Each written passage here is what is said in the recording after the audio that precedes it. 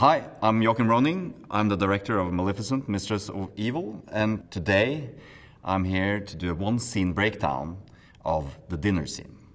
I remember the story of a baby. A baby cursed to sleep and never wake up. Really? Who would do such a terrible thing to an innocent child? Well, there are many who prey on the innocent. I'm sure your kind would agree. What do you mean, my kind? She means humans. There are fairies missing from the moors, What I'm missing is some wine. stolen by human poachers. That's the first I've heard of it. Someone gave the order.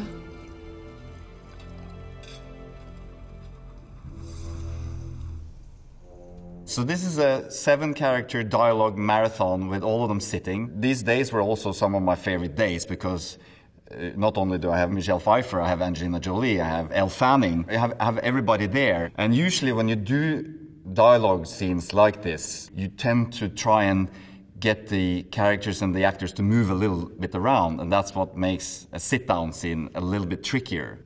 Usually when you do, you know, any dialogue scene, you have the two characters here, and then you try and stay on one axis with the camera so that you get the feeling of them looking at each other. It's like shooting a, a football match, you know, you, want, you don't want them to score in the, all in the same goal, as they say. So when you add a third character, you start to suddenly be very free on where to put the camera, but at the same time, the audience needs to know what the character on camera is looking at. So then you can add another four to this, and then you get our dinner scene. There are fairies missing from the moors, What I'm missing is some wine. stolen by human poachers. That's the first I've heard of it. Someone gave the order. There's a very good scene, I feel, in the movie uh, called uh, Casino Royale, where uh, Daniel Craig and Mads Mikkelsen are playing poker, and they are also like seven, eight people. Raise 12 million. there's also other, scenes from other movies that you know I sat down with and studied because they are very tricky and, and technical, even though they might not seem like that at all. Usually, we I was shooting this scene with three cameras. Since the uh, the light source is in the middle of the, the table, it allowed the, the DP, Henry Braham, to actually shoot in several directions at the same time. So we were allowed to actually rig three or four cameras just in the middle of the table underneath their eye line. So they could be looking over the camera, talking to each other. I could shoot basically a 360, you know, the whole crew just hid outside of the, of the set. As a filmmaker, you, you will also visually try to make it interesting and you want to underline certain moments in the story. The scene is a very important scene in the film because it is the scene where we, for the first time, see that Queen Ingrid has a hidden agenda. You have done an admirable job going against your own nature to raise this child. But now, she will finally get the love of a real mother. Everything that Queen Ingrid says is part of her plan. She's pretending to be a little bit naive in order to, to lure Maleficent out on thin ice. She wants her to show her evil side. At this moment in the scene, Maleficent realizes that this is not necessarily just a, a pleasant, you know, meet the parents dinner. Obviously, Michelle Pfeiffer was uh, at the very, very top of my list for playing Queen Ingrid. She's a, one of the very few that can go head to head with Maleficent. If I didn't know better, I'd say you were making a threat. Well, do you? Do I what? I remember this was one of the first scenes that I ever shot with her. Of course, I've seen drawings of her costume and the, you know, the jewelry and all of that, but there's something very, very special when she walks out on the set as Queen Ingrid in full costume and in character. Blocking wise, framing wise, I'm pushing in with the camera on each one, which is a very common technique in order to create the focus in the scene. You know, I'm fo- focusing in on Queen Ingrid and putting her plan into life, but subtle. I want the audience to focus in on what she's saying, and I want the audience to focus in on Maleficent listening to Queen Ingrid. And I don't want anything else to really be of importance in this scene, so I put them in the middle of the shot. However, this character is a big part of Queen Ingrid's plan.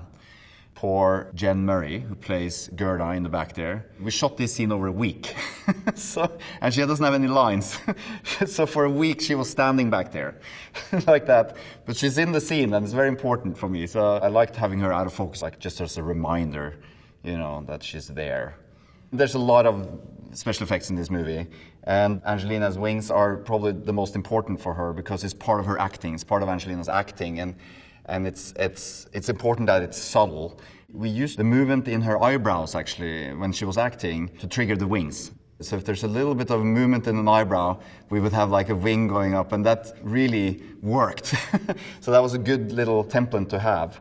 You see the talons here is always like some of the most trickiest things. So this is all CG and you know you, you work on getting as photorealistic as possible. So you see there's a shine in here, there's a shine in the little you know in the little feathers and it needs to be the same black as her dress and but a little bit shinier and then the focus of the wings needs to be a little bit off you know compared to her eyes you know so that needs to match and the, each feather you know each feather is moving individually actually and uh, you know this takes a year to make, uh, and these wings are just tremendous. I feel.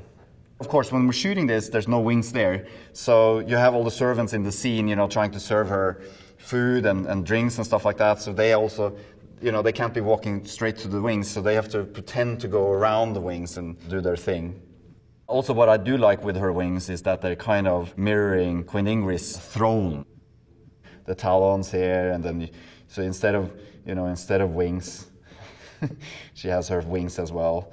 You know, so it becomes the two thrones that these queens are, are sitting on. Who would do such a terrible thing to an innocent child? Well, there are many who prey. Angie and I, we spent hours discussing the, the color of her lips, you know, because I felt a little bit in the first film that they were too colorful and uh, so we were going a little bit back and forth, and I think we landed on a slightly cooler red. So those are the things that you know needs to be discussed, and it's very important, you know, because it's such a big and important feature for Maleficent. And then of course her eyes, she's using lenses. They're very very hard to see through. You basically get a tunnel vision, I think. So you basically just see the middle of your sight. Her face is a mix between prosthetics and CG. So these are all in camera. So these are prosthetics. And then the kind of pale hue that Maleficent almost radiates, that's applied in the in post-production to give her that otherworldly, you know, feel. There are many who prey on the innocent. I'm sure your kind would agree. What do you mean, my kind? So here you see we're shooting the other characters in this scene. This is uh, Prince Philip. This is the Queen Ingrid. You know, so we're kind of covering the the king here. I put the characters that I really want the audience to focus on in the forefront of, of the shots, and then framing the king uh, slightly further back amongst them. We're a bit. we feel like we're further away from the king, and we're closer to the main characters in the foreground. What do you mean, my kind? She means humans.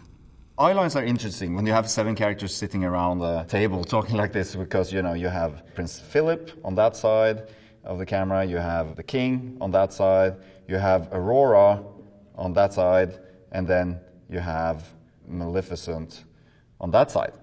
Two looking camera left and two looking camera right. And when you're shooting this, you know, she will always be looking at, you know, whoever speaks or whoever she speaks to. But then in editing, they try to to, to create the geography in the room. So you have the king looking at the queen, and then I will use that eye line to cut to the queen looking at the king, and then looking from the king to, for instance, Maleficent. She means humans. This shot I love because it's, it's, a wide shot and you get to see some of the fantastic production design that Patrick did. It was a 360 set, huge dining hall. We built this on the soundstage at Pinewood Studios outside of London. You know, you see the pillars built, and then the king and queen thrones in the back there. This guy, he's the etiquette expert, like a medieval. Uh, you know, he knows how they ate and what they ate, and it was important for me to have like this overflow of food on the table, like colorful and.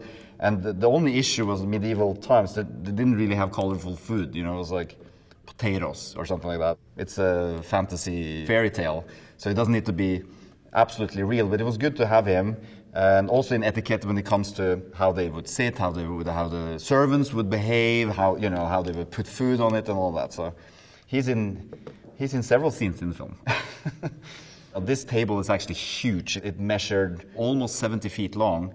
And at one point, I came actually really, really close to putting the queen and the king on each side of the table, you know, so you had them like that, and then they would be like that. And then I put Maleficent in the middle next to Aurora, and then, you know, but it just turned out to be like a shouting match, basically, because they were so far away from each other. So I ended up putting them all at the end of the table, and then, of course, putting the queen next to the king, and then having her team, Team uh, on this side, and then Team Moors on that side, and then the king, he's kind of like the referee in the middle. We actually went back and forth a lot, actually, in regards to what was the Ulstead color, and we ended up with it being red. So you see Percival, you know, the general here being uh, in red. You see the king being in red, the cloth being in red, and that's part of the castle colors. And this is the sky outside the windows here. Are um, it's dusk, so that's why it has, still has a little bit of glow to it. And that's not blue screen. That is actually uh, a backdrop that we had painted.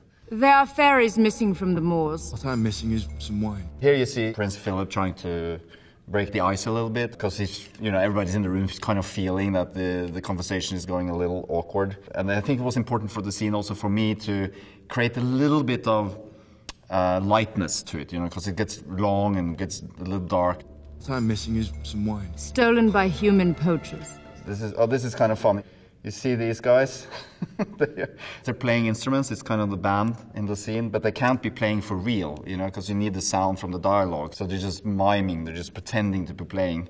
So that's what they did all week. This the magic here. That's also like hours or hours of meetings with visual effects supervisor Gary Brozenich, deciding the color of this green, the amount of it, the density, the movement. It always baffles me how much actually goes into you know creating these effects because this is not in camera. So we have to design it from the from the bottom and at the same time also honoring the first film and you know the color of the magic in the first film. Maleficent here is starting to put things together and her instinct is to go full evil. And the only one that can calm her down is aurora. So that's why i went you know as close as possible i didn't want any of the other characters to really notice her fingers having a little bit of, of green magic to them only Aurora is reading her godmother and trying to calm her down. You know, she's seeing where this is going.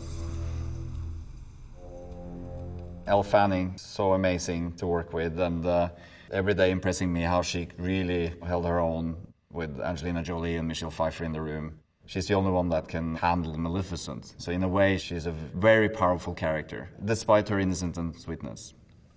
As a director, you sit behind the monitor and you're listening in and you're watching what's being filmed, especially also since we're shooting three, four cameras. It actually feels almost live, you know, that we're making a live movie. So uh, these were very, very special days.